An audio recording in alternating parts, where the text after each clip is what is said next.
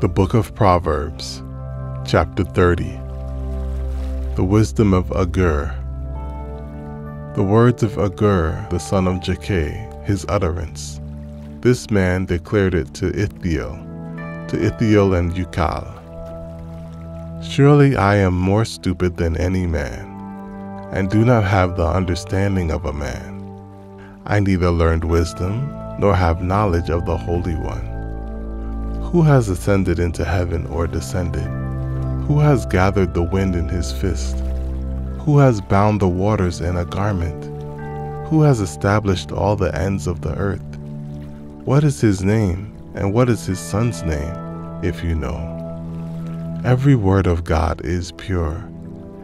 He is a shield to those who put their trust in him. Do not add to his words, lest he rebuke you and you be found a liar. Two things I request of you deprive me not before I die. Remove falsehood and lies far from me. Give me neither poverty nor riches. Feed me with the foods allotted to me, lest I be full and deny you, and say, Who is the Lord? Or lest I be poor and steal, and profane the name of my God. Do not malign a servant to his master, lest he curse you, and you be found guilty.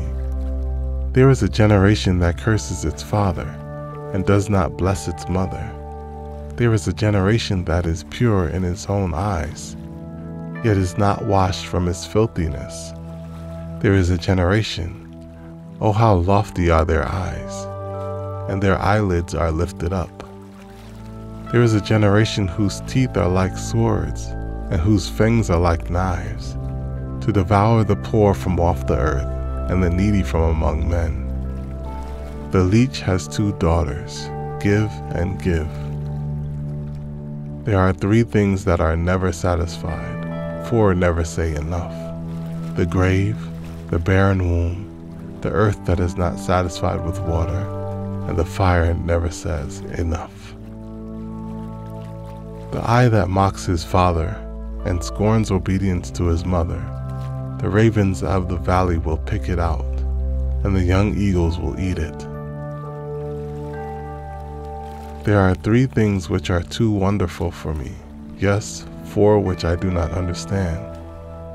The way of an eagle in the air, the way of a serpent on a rock, the way of a ship in the midst of the sea, and the way of a man with a virgin. This is the way of an adulterous woman. She eats and wipes her mouth and says, I have done no wickedness. For three things the earth is perturbed. Yes, for four it cannot bear up. For a servant when he reigns, a fool when he is filled with food, a hateful woman when she is married, and a maidservant who succeeds her mistress. There are four things which are little on the earth but they are exceedingly wise. The ants are a people not strong, yet they prepare their food in the summer. The rock badgers are a feeble folk, yet they make their homes in the crags. The locusts have no king, yet they all advance in ranks. The spider skillfully grasps with its hands, and it is in kings' palaces. There are three things which are majestic in pace, yes, four which are stately in walk. A lion, which is mighty among beasts and does not turn away from any. A greyhound, a male goat also, and a king whose troops are with him. If you have been foolish in exalting yourself, or if you have devised evil, put your hand on your mouth. For as the churning of milk proceeds butter, and wringing the nose produces blood, so the forcing of wrath produces strife.